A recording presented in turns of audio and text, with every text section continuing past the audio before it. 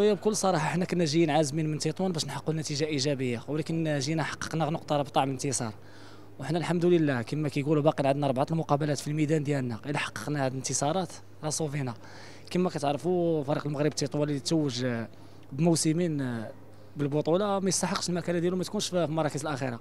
وإن شاء الله حنا غن غنتقاتلوا غن بالعربية بلغة التعربط العربية غنضاربوا باش الفريق المغرب التطواني ما يطيحش القسم الوطني الثاني أه كما كتشوفوا فريق المغرب التطواني رجل لاعبين متمرسين.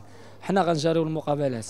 وإن شاء الله راه يكون الخير المهم الحمد لله هي الكلام. كما غنقول عاوتاني باللغة العربية ما غاديش نطيحوا إن شاء الله.